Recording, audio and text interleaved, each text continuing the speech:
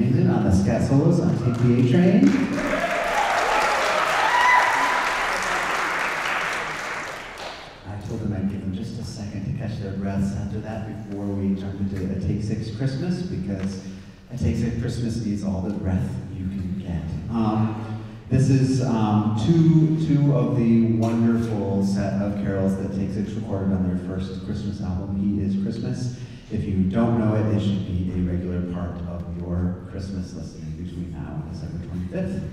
Um, so enjoy.